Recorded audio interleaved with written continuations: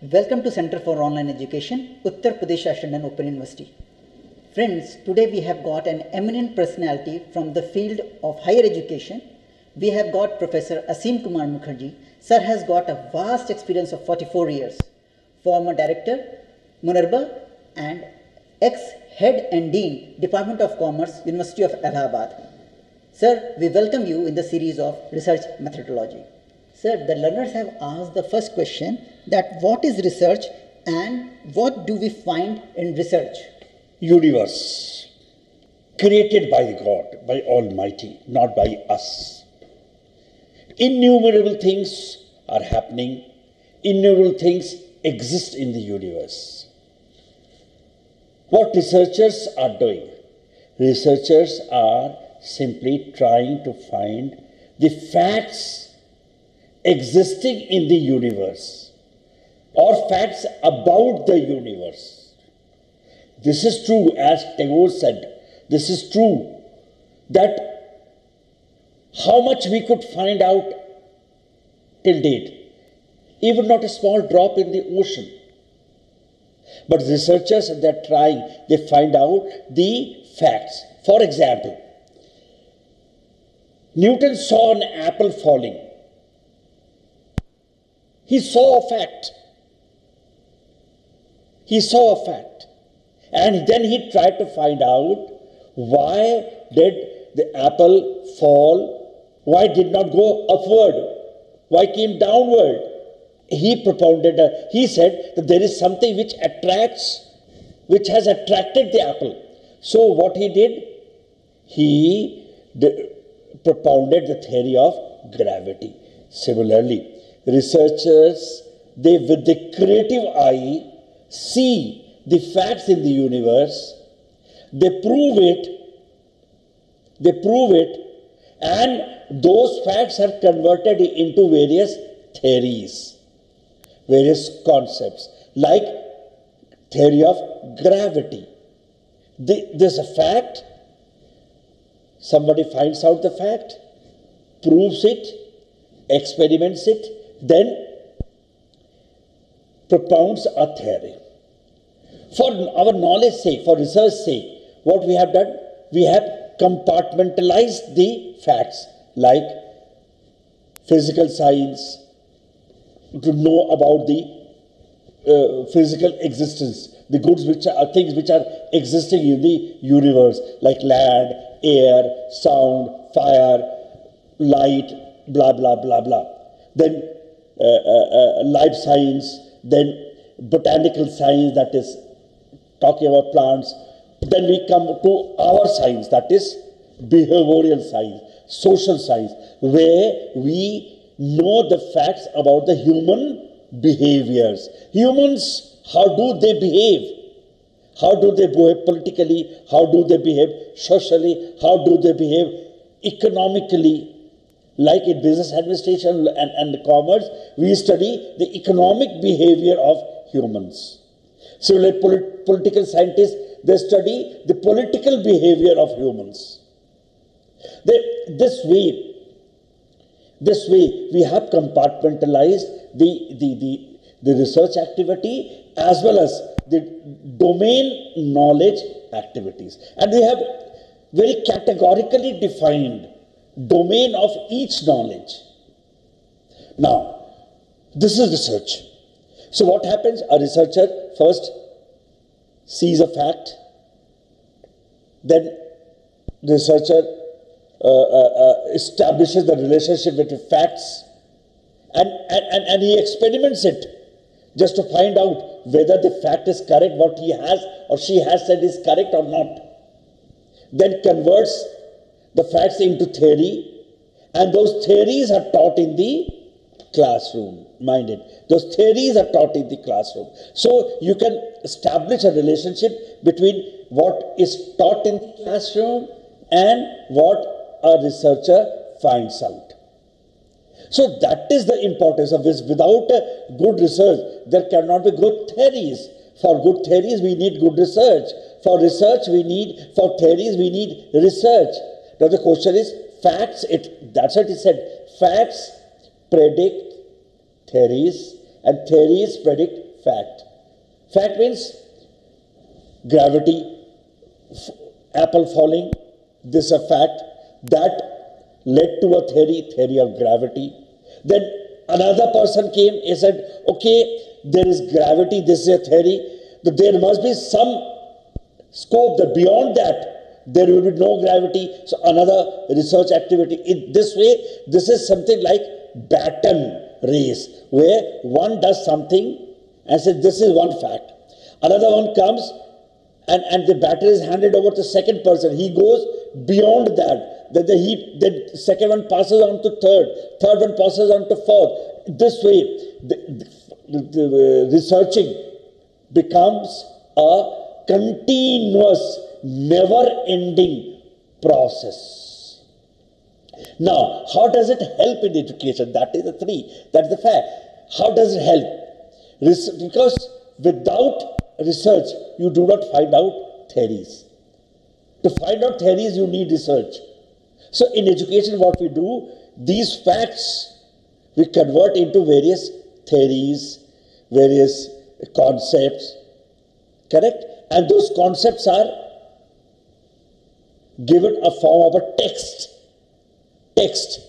And those texts are taught in the classroom. This is research and this is a relationship between education and research. Sir, many of the researchers have asked that after completion of their research work, they used to publish their work. So, publication ethics is very important. The question arises over is this that what is publication ethics? Integrity, quality, transparency, accountability. These are the four things. First, there should be quality. Number two is integrity, quality with integrity. Third one is transparency. Transparency. Fourth one is accountability. That means a person who writes stands accountable for what did he write. If I write something, I am accountable to what I wrote. So if there should be quality. Of course, one very important thing that is there, that is particular that happens in pure science, practicability. That is, whenever a research is published, any person has a right, should enjoy a right to put it into use and find out whether whatever you have written is correct or not. Whatever you have, uh, you, you, by, by research, you have found out whether those things are right or wrong. Of course, of course, there should be, it, it should be in publication, mind it. And, the, and publications are always for academic purposes, not for commercial purposes. Cannot be used for commercial, of course, can be used for further research. Can be used for further research. And you can have your patent by using a particular formula, doing some research, further research on it, and finding out a new thing that that you can have patent. But as far as publication is concerned, publication has a copyright, and copyright will always be with whom? With the script writer. So the, there should be ethics. Uh, and ethics says that it, there should be quality, there should be integrity, there should be accountability, there should be transparency in the research publication. Sir, most of the learners have asked that why publication ethics is important in our research work. Okay. Uh, as I said, that most important thing is that research is a continuous process. Not that that what I have done is the last word. There's always a scope. There's never a last word in research. It passes on from one to two, second, second to third, third to fourth, fourth to fifth, fifth to sixth. So this is important as because whatever you write, that should be authentic one. Authentic one and prove to be correct. Because, because the next researcher will be using your conclusion, as base for further research. If there is anything wrong in the present research, if the findings are doubtful in the present research, the, all the further subsequent researches would become redundant. There should not be any redundancy in the present research work. It should be transparent. Again, transparency is very important. You should accept what you, that, that transparency means you should be very clear what you have done and it should be known to every person. It should be known to every person what the person, what the researcher has done, how he has conducted the research. It should be transparent one. So that another person, if he wants to prove the correctness of your research work, should will, will be using the same process to find out whether your conclusions, your findings are correct or not. So, so this is the duty of the, this is the ultimate duty of the researcher, not of the others. To be clear in mind what he is writing, he means that. He means that, whatever he is writing. Sir, in the modern research, a term which is being highly discussed in the among the researchers is plagiarism. Now, sir, please highlight and explore the various things regarding plagiarism. Really, plagiarism is a crime in research, is a crime. This is true that every researcher, every researcher uh, uh, uh, looks into the previous work. That is a very important integral part of the research review, literature review. That is what?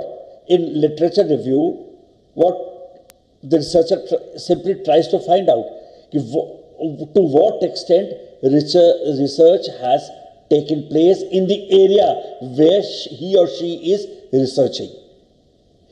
Available literature. Then tries after that he, he he or she finds out the conclusions.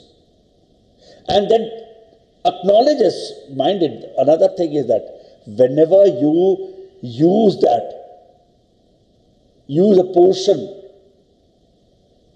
or entire one or a portion of research work, it should be duly acknowledged.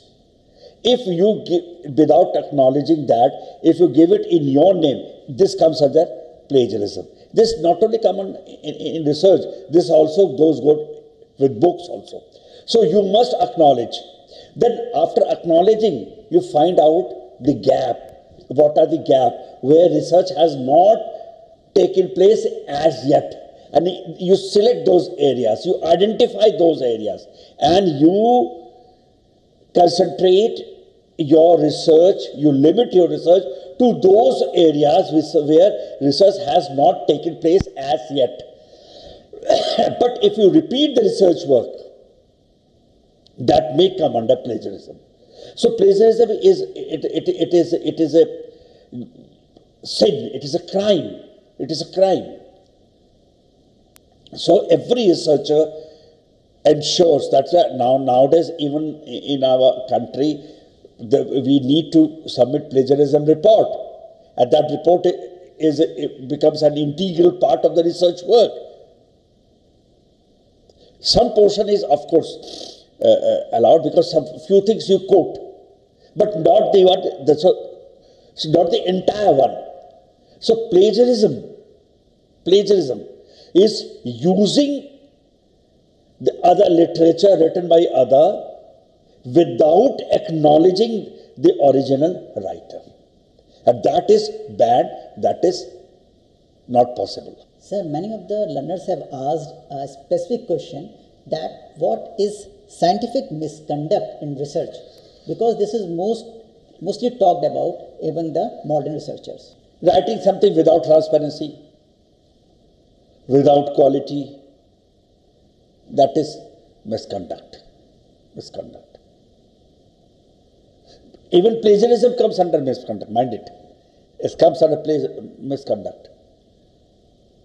I know there have been few cases where entire thesis was rejected after being awarded PhD. So, any misconduct is misconduct. And of course, every misconduct is done very scientifically. Not very scientifically, misconducts are committed. So, using any research work without acknowledging, without quality, without experimenting, without proving the correctness, this is misconduct. It- This is known as mis- scientific misconduct or misconduct as a matter of fact, misconduct. As a course coordinator of the first MOOCs of Uttar Pradesh Open University, I thank Sir that Sir has enlightened us with the vast knowledge of research. I thank Sir that coming from the University of Allahabad and enlightening us. Sir has given all the answers in a very simple and elusive manner. Thank you, sir. Thank you.